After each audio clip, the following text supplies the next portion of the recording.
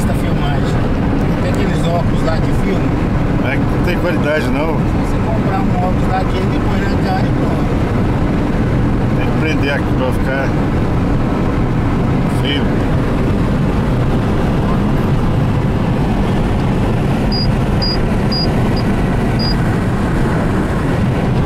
Aí, como é que tá aí?